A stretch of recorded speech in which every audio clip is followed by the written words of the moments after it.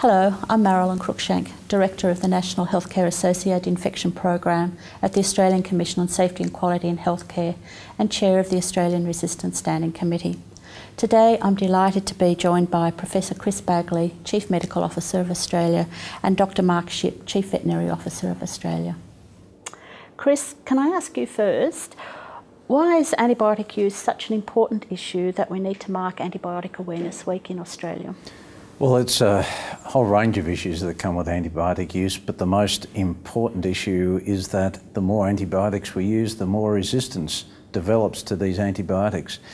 And the more resistance that develops, then the greater the likelihood is that some serious infections will not be able to be treated.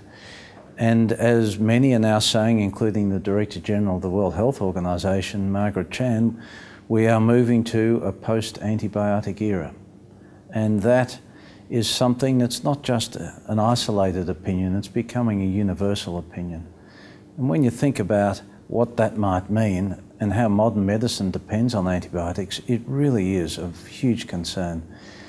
Just talking with a, a friend today who's has uh, depending now on chemotherapy and is looking for stem cell therapy.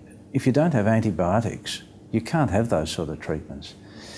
We use uh, antibiotics for people who get hip and knee uh, prostheses uh, put in, and they need antibiotics. You can't do transplants without antibiotics, so healthcare would just change hugely, and the more simple infections could become life threatening. So that's why it's important, and it all comes back to the use of antibiotics, and particularly in human health. The way we use antibiotics, we don't have uh, new antibiotics in the pipeline that pipeline has shrunk remarkably, and those that do develop are showing resistance much earlier. So it's a big problem. Mm-hmm. Mark, we're delighted to have the Department of Agriculture joining with us this year in Antibiotic Awareness Week.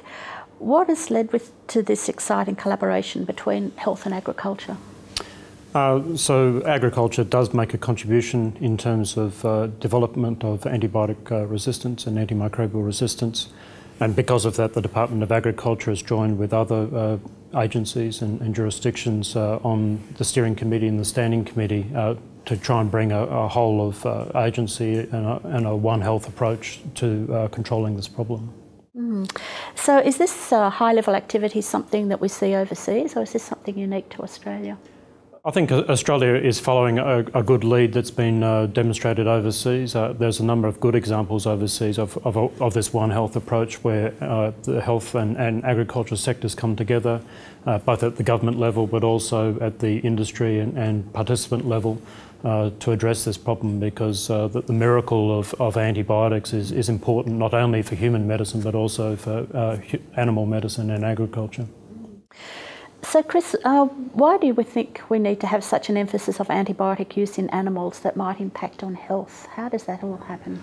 Well, I think uh, what we're finding, uh, particularly from overseas, where there is an unrestrained use of antibiotics, we're finding uh, in examples there, and, and, we've had quoted recently from the United States, for example, where these resistant E. coli infections um, probably coming from uh, resistance that's developed to the use of antibiotics in animals in, in that environment. Now, we are looking at, and increasingly, I think, looking at uh, the impact of antibiotic use in, in animals in Australia and how that might affect uh, humans. Uh, again, let me say the most important impact for humans is the way medical uh, people, doctors obviously in particular, uh, prescribe antibiotics.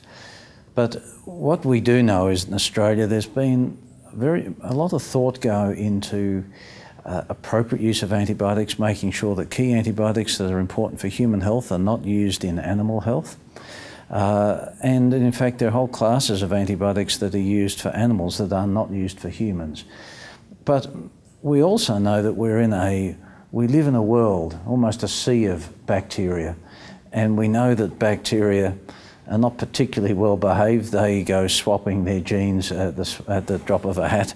And they, uh, there is the opportunity then for resistance that develops in, in one part of animals' uh, health that can be just transmitted through a variety of mechanisms to, to humans. So we all have to pay attention to this. So, Mark, we've heard that uh, there are problems overseas with um, antibiotic resistance in food and animals um, and, and, has an impact on human health. So, what's the situation in Australia? Do we see the same things here? So, the evidence in Australia is quite good. Uh, the situation is not as severe as what we see overseas, uh, in part because uh, agriculture in Australia tends to be more extensive. We have a very healthy environment. Uh, we don't have the, the types of intensive uh, and, and in indoor agriculture that, that we see uh, overseas.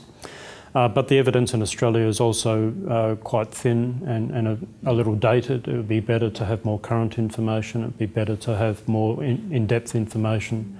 Um, and for that reason, we're, we're looking to extend uh, our surveillance and our monitoring uh, to build up a better data set and so that we're in a position to make better uh, informed decisions on, on uh, future registrations of antibiotics for use in agriculture.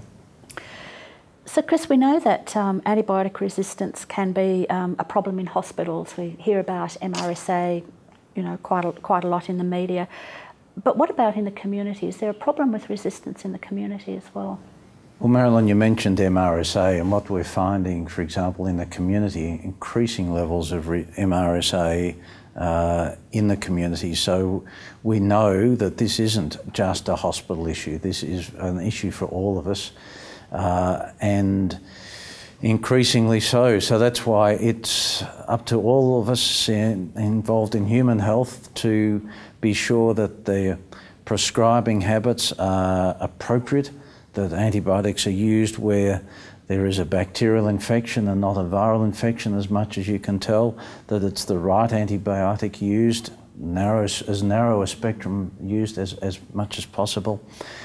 And, and of course that, uh, and for consumers, uh, that if they're given a course of antibiotics, in, in, it's important that they take the full course.